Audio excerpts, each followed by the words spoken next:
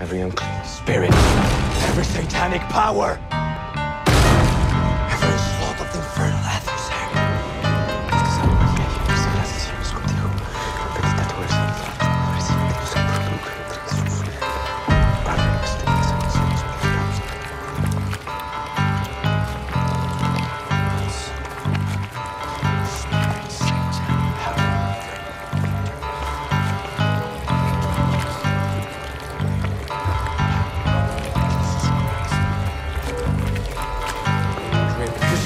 made in the image and likeness of God, and redeemed by the precious blood of the divine Lamb.